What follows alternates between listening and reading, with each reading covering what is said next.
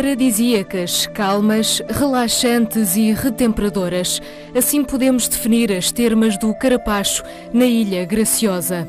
Localizadas à beira-mar, na Freguesia da Luz, as termas do Carapacho primam pela excelência dos tratamentos, não só para quem sofre de doenças reumáticas, mas também para aqueles que procuram momentos de puro prazer.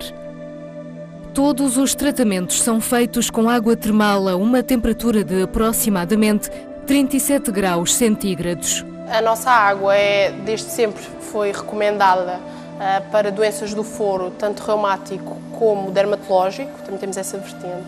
Portanto, aqui o que as pessoas podem fazer em termos de balneoterapia, portanto, é o banho em piscina, banho de imersão em piscina, o banho uh, com jatos simples ou com a hidromassagem e o jacuzzi, que é um banho com jatos em que a pessoa pode estar uh, em grupo. As termas do Carapacho oferecem terapias manuais com fragrâncias relaxantes, banhos quentes que possibilitam apreciar uma chuva de sensações, tratamentos gourmet que fazem os encantos dos turistas. It's the first time that I come here, but I will come back again because uh, the place is nice, the people are nice, and uh, you have everything available. I mean, the swimming pool and the nice water, the massage. O duche de jato é um dos tratamentos ainda pouco explorados noutras termas do país. Trata-se da utilização de um jato de água em regiões específicas do corpo. Simplesmente tensão muscular que vamos acumulando ao longo de todos os dias para relaxar.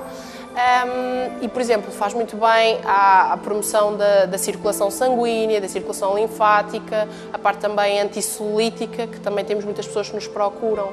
O duche Vichy beneficia também a circulação sanguínea, o relaxamento dos músculos e da mente. São jatos de água colocados estrategicamente no, no corpo. Pode ser feito só o jato ou uh, com massagem, uh, com óleos essenciais. A água provém de uma nascente situada no próprio edifício das Termas do Carapacho e é a partir da caldeira da Graciosa que surgem as águas termais desde 1750 que são famosas.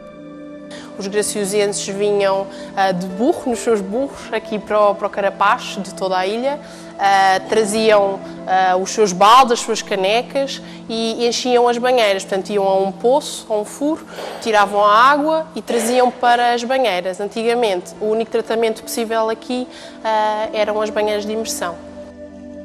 Atualmente, não são apenas banheiras de imersão, mas um conjunto de jatos de água e bolhas de ar. O poço que antigamente servia os graciosenses hoje é utilizado apenas como meio de exposição para dar a conhecer a história das termas do Carapacho. A utilização das águas termais é feita com recurso à alta tecnologia.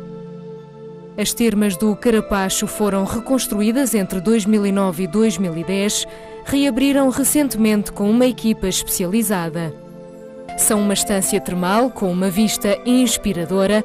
Quem usufrui deste espaço pode ver mesmo à sua frente a ilha de São Jorge enquanto toma banhos na piscina natural. Um lugar onde a tranquilidade e a harmonia são os ingredientes principais para uma vida mais saudável.